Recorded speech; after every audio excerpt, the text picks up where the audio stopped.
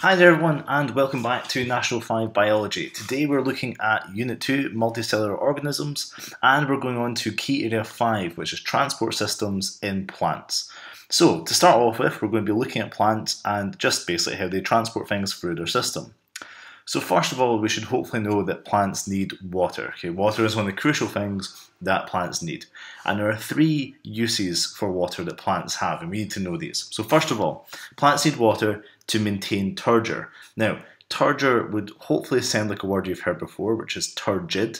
If you remember that when a plant cell swells up, we don't call it swollen up or swelling up, we call it turgid, so it's swollen. So therefore, turgor in plants are when all the plant cells are uh, to an extent turgid, which means it keeps the plant upright. If you think a plant didn't have any water, first thing that happens to it is that it wilts. That's because these cells are not turgid anymore, therefore it cannot keep its structure properly. So first thing that's needed is to maintain turgor.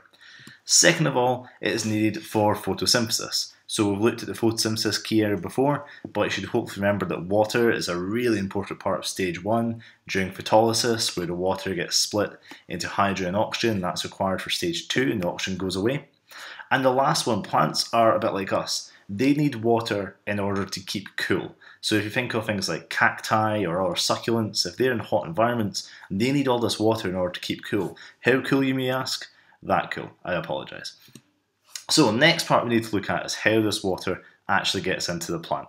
So water enters these roots that you've obviously uh, came across before uh, by osmosis. But what we want to look at here on this picture on the right, this root that's coming out of a uh, newly growing seed has all these little hairy bits across the roots, and these are called root hairs. The purpose of root hairs is to increase surface area. If you increase surface area, you take in more water. So the more root hairs this root has, then it takes in more water through osmosis, and hopefully you remember that osmosis is the movement of molecules from an area of high water concentration to an area of low con water concentration, which would be the root cells itself, and the water is now inside the plant system. So again, just make sure you know this bit here. The purpose of the root hairs is to increase surface area. Roots are great, they're needed to take up water, but the more root hairs you have, the more water molecules and other minerals you'll be able to take up. So next, now that the water is inside this plant system, we want to see how it can get to other parts of the leaf, or the plant rather. So plants use different sort of vessels called xylem to transport water up through the plant.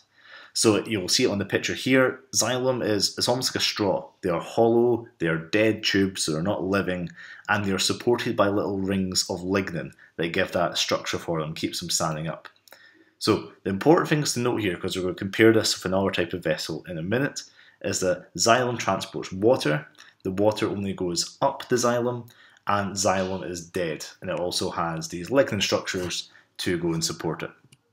The other plant vessel that we want to look at though is called phloem, and this is what you'd normally be asked to compare or describe the differences of. So phloem is a bit different. It's used to transport sugar. Also, it transports sugar up and down the plant. So when you have all these sugars, all this glucose going up and down the plant, it can go in different places. Phloem cells are alive, so in comparison to xylem cells being dead, these are alive, and they have these cells next to them. In the diagram, it's these uh, green parts that are called companion cells. The companion cells are there to provide energy, and that energy is required because that sugar is going up and down the plant. The xylem doesn't need it because it's just capillary reaction, just going up through the xylem. So that's the first thing you need to compare. Also, you'll notice that the structure is a little bit different, so we're just zooming in here a little bit. Main bit for you to know are these companion cells. So these little uh, green cells here that are added on, you can see the little nucleus on them. They're the companion cells, so think of the cells having a companion, having a friend right next to them, they provide energy for the plant vessels. The tube itself on the phloem is called a sieve tube, and these little uh, plate-like objects, I suppose, that look like sieves that are found in phloem are called sieve plates.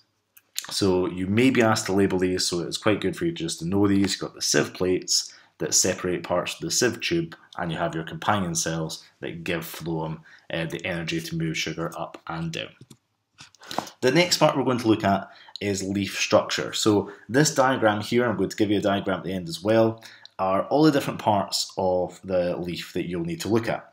So first bit I want to point out on this diagram here is on the sort of bottom right hand corner, I suppose, there's a yellow and purple uh, tube that's going through the, the going through the leaf. Now that is called a vein. So think of veins like we have in the human body that we're going to look at later on.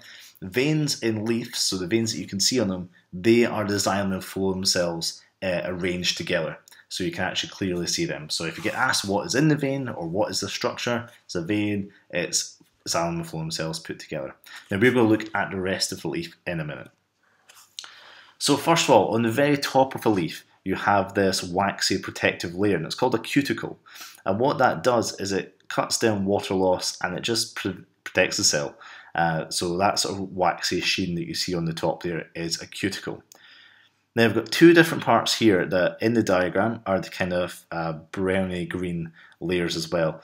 And they are both called the epidermis. Now epidermis is just a term for a skin. So if you just try and think of it as a skin, the one on top is the upper epidermis, and the one on the bottom is surprisingly the lower epidermis. So upper epidermis and lower epidermis is a skin.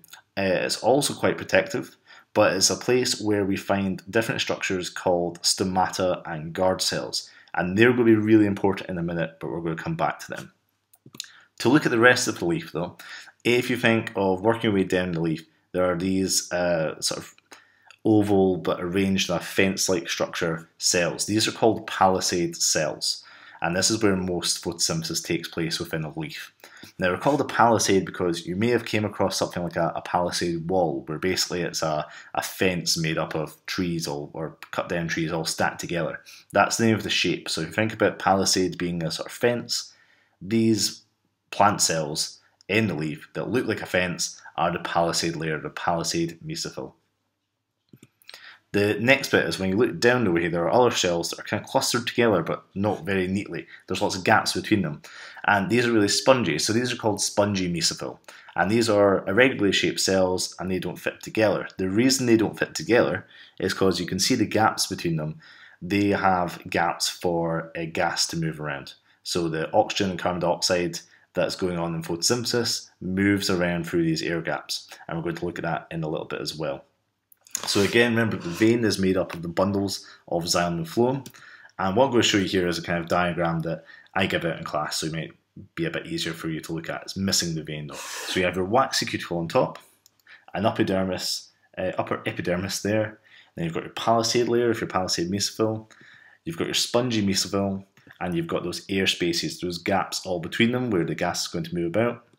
You have your lower epidermis, and what we're going to really concentrate on is on the bottom, we have that little gap between the cells that you can see that's called the stomata.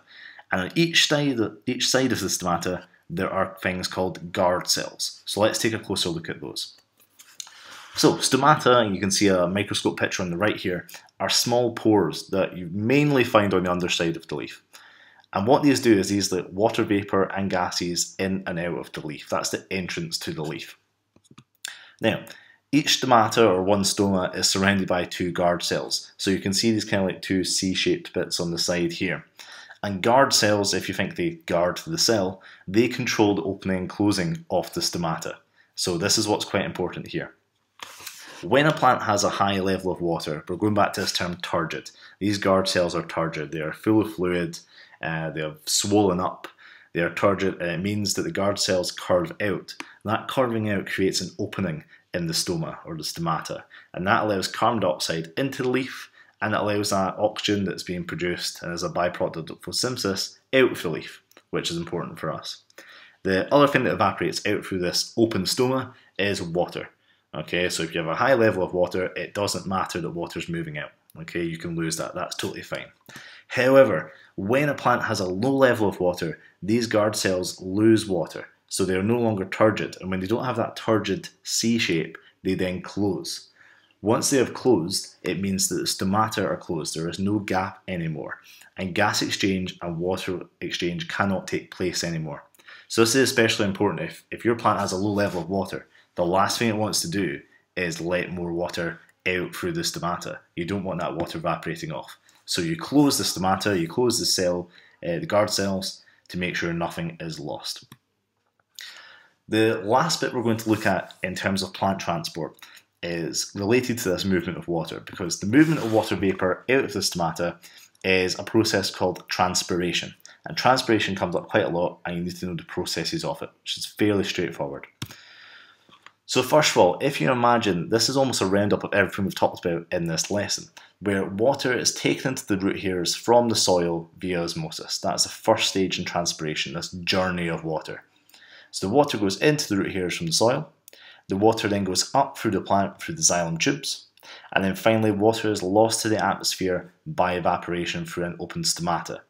Okay, so just three simple stages in through the root hairs, up through the xylem, and out through the stomata. Transpiration, just that journey of water throughout a leaf.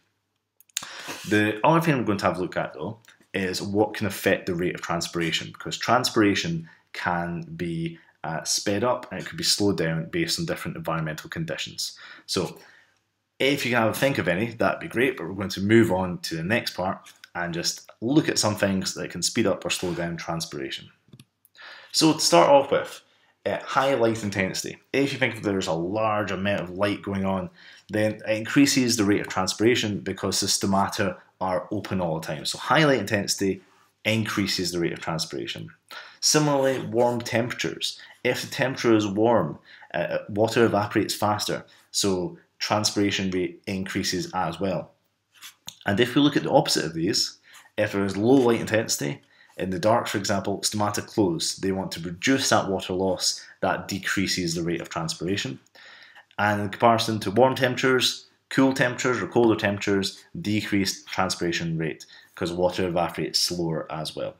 So you think about two main ones here light intensity, if it's high, then transpiration increases. If it's low, transpiration decreases. In terms of temperature, if temperature is high, transpiration increases. If the temperature is low, transpiration decreases. Okay, they're your kind of standard ones there. There are a couple more though. Uh, one of the things, moving air, which you could also refer to as wind, increases the rate of transpiration because if you imagine that that outside air is constantly being replaced by dry air due to moving air, um, then more water vapor is able to be accepted from the environment from the plant. So wind or an increase in moving air increases transpiration. There are two more that decrease transpiration. One is humidity. So it's almost the, the opposite of wind, I suppose, where the more humid uh, the outdoor environment is, then that decreases transpiration rate as water cannot evaporate from the stomata.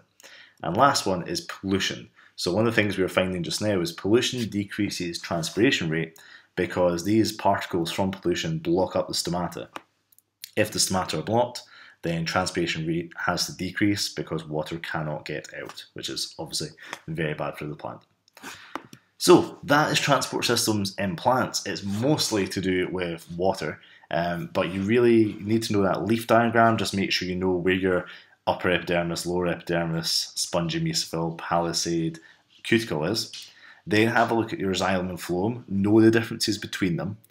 If you know the rate of transpiration, so very simply just the water moves into the root, moves up through the xylem and out through the stomata, and go into a bit more detail about that, and also as long as you then know some examples of what can increase and decrease the rate of transpiration, then you will be fine. So thanks so much for listening to this, folks. I'm going to uh, get the transport systems in animals uploaded so you can compare these, and then we're almost done with this part of the course. Okay, thanks so much for listening.